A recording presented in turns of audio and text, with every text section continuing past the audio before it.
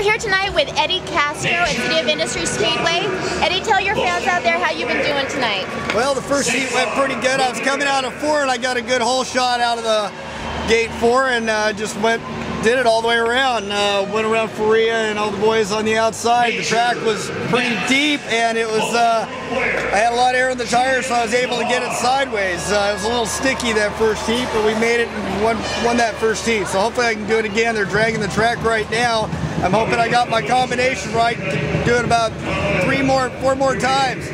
Awesome. And what about this year? How have you been doing? All right. Some tracks are better than others. You know, I've got some new equipment, sponsors, Fiesler's.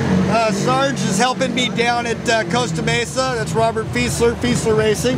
I got Steve Tennant helping me at the other tracks with the new bike that we're running tonight. We've been running, so I've got one set of bikes at Costa Mesa that stay at Costa Mesa, and then the other bikes hit the tour for all the other tracks. So we're having a lot of fun. Wonderful. And tell everybody out there your sponsors.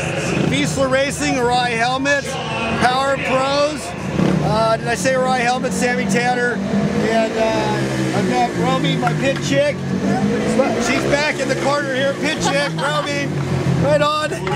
Dor Dorsey Wingles helps us out with a place to stay. Dorsey's right behind you. There's there's our helicopter pod. Dorsey Wingo.